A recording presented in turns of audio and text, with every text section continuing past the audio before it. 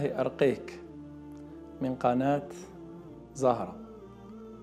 إخواني أخواتي موضوع اليوم موضوع مهم جدا وهو موضوع ليلة القدر وأحوال المصابين في شهر رمضان. نتكلم عموما حول شهر رمضان وليلة القدر خصيصا. من بداية رمضان إلى نهاية رمضان. كيف يمضي المصاب بالسحر والعين والحسد والمس أيام هذا الشهر المبارك؟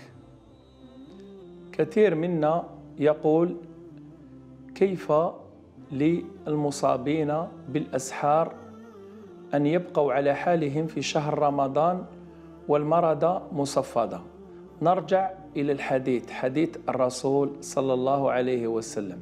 يقول الرسول صلى الله عليه وسلم إذا جاء رمضان فتحت أبواب الجنة وغلقت أبواب النار وصفدت مردة الشياطين أو مردة الجن. كي يجي رمضان أبواب تاع الجنة تتفتح والأبواب نتاع النار تتغلق. والمرضى يتصفدوا. كاين علماء قالوا يتصفدوا يعني التصفيد الأصفاد هما الأغلال لي مينوط يتربطوا يتصفدوا. وكاين بعض من العلماء قال لك ما يوليش عندهم مفعول وتأثير على عباد الله. يعني ما يولوش يأثروا هاد المرضى كما كانوا الأيام الفائتة. في رمضان يتربطوا يعني الأذى تاعهم ما كاش. فعلا. في رمضان لما تفتح أبواب الجنة وتغلق أبواب النار تصفد المرضى المرضى هم الشياطين الأكثر كفرا. والأبالسة هم اللي عندهم الدرجة الكبيرة وعندهم قوة كبيرة. والمرضى هما اللي يعبدوهم السحرة. كل ساحر مسكون مركوب بجن. يكون في السحرة جن مرضى والسحرة يصلوا لغير الله. يصلوا للمرضى انت تشوف انه يعبد الله ويقول لك هذا الساحر يعتمر وكذا لكن هو لا لا. هو لما يكون في الخلوة تاعو في الغرفة ديالو ولا في المركز وين ويدير السحر راهو يعبد هذاك المارد اللي يسترق السمع ويعطي له الأخبار نتاع هذوك الناس. يعطي له 100 خبر 99 خبر كاذب وخبر واحد اللي حقيقي. هو لما يكون يهضر لك هذوك الأمور يطيح لك في الخبر الحقيقي بعدين أنت تقول والله غير فعلا هذايا يعني راهو صادق. المرضى هي اللي تصفد. كاين كثير إخوة يقولوا لنا علاش ترقوا الناس في رمضان؟ رمضان فرصة باش الناس تصفى تصفى نهائيا تصفى من المس والأسحار. الجن لا تصفد في رمضان. الجن مخلوقات كما إحنا. قال الله تعالى وما خلقت الجن والإنس إلا ليعبدون. الجن يعبدوا الله يقراو يداويو يتزوجوا كما بنو آدم. وشنو؟ حنا ما نشوفوهمش وهما يشوفونا. قال الله تعالى إنه يراكم وقبيله من حيث لا ترونهم. ومن تمام عدل الله أنه إحنا ما نشوفوش الجن في الدنيا وهما اللي يشوفونا. يقال أنه لما الإنس والجن يدخلوا للجنة إحنا نشوفوهم في الجنة وهما ما يشوفوناش.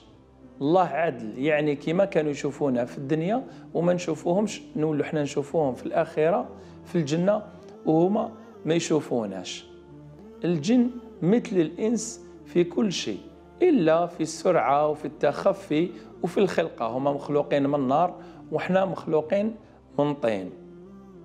في رمضان كل إنسان عنده سحر أو حصاء إصابة عين حسد مس الجن اللي فيه يبقى خادم السحر يبقى اللي راهو معطل الإنجاب يبقى تعطيل الزواج التمريض يبقى.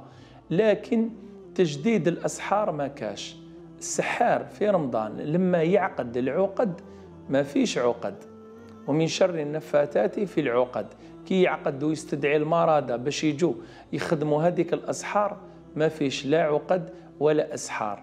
واش يعملوا سحارين في رمضان؟ قلنا في شعبان يجددوا السحر. والشهر اللي مر شعبان رمضان. في رمضان يروحوا يديروا عمرة ويروحوا للحج. سبحان الله باش الناس تقول باللي فلان وفلانة ما شاء الله. ويروحوا للعمرة ويروحوا عادي جدا يعاودوا يرجعوا بعد العيد عيد الفطر يرجعوا للخدمة تاعهم. لما المرضى يفتح عليها التصفيد. ليلة 27 من رمضان التي نحسبها أنها ليلة القدر.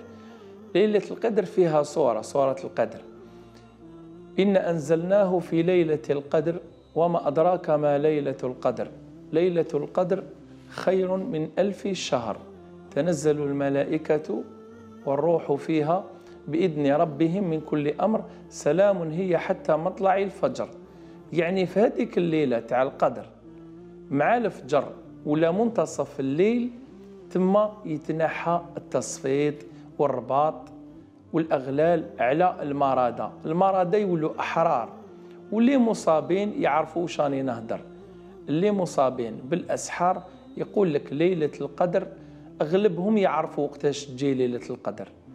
يحس باختناق عظيم كاين اللي يولي يعيط كاين اللي يبدا يبكي كاين اللي يتعوج كاين اللي يصراو له أمور غريبة كاين اللي يشوف ليلة القدر سبحان الله. يعرفوا انه خلاص الاصابة تاعهم عاودت ولات من دارا وجديد. رمضان فرصة لما الناس تختم القرآن في رمضان تقرأ القرآن وتختم وتصوم صياما واحتسابا وتصلي التراويح وتدعي أثناء السجود تدعي الله باش يفك هذا السحر وتتحل هذه العقد ويحرق اللي راهو في الجسد أو يخرج اللي في الجسد. يتحقق بإذن الله في الأيام والليالي هذه المباركة. وأفضل الدعاء عندما تأتي لتفطر. قال رسول الله صلى الله عليه وسلم للصائم دعوة لا ترد. كي تجي تفطر ادعي الله. ادعي بكل خير وبإذن الله راح يلحقك هذاك الخير. إذا في شهر رمضان لا يوجد لا سحر ولا تجديد ولا عقد ولا أذى من المرضى لكن المصاب يبقى مصاب. في رمضان يبقى مصاب لكن حدة الإصابة تنقص جدا.